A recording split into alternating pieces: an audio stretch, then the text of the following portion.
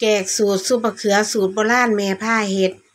เฮาก็ตั้งปาดบะเขือแซ่น้ำเกลือไว้ก่อนนะพี่น้องตั้งน้ำปลาร้าเดือดๆไว้จังบะเขือลงไปต้มมันจังสิบ่แหลบ่ดำขัวหัวหอมกับพริกสดนี่ใส่กันเฮาก็นำมาต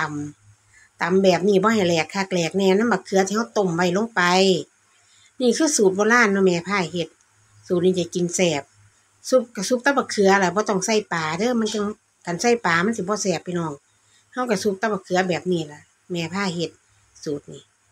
นำมาแบ่งปั่นกันเนาะตามโดยผงนัวเฮาผงนัวนำลงไปเลยพี่น้องผงนัวก็ขาดบ่ได้เด้อใส่หลายแซ่บหลายผงนัวก็ตามด้วยข้าวคั่วข้าวคั่วให้มันคั่วเองหอมๆนี่ล่ะคั่วเองเลยเฮาก็ตามด้วยเกลือนี่พี่น้องขาดบ่ได้เด้อเกลือนี่ซุปบะเขือนี่ขาดบ่ได้เลยแม่เราบอกไว้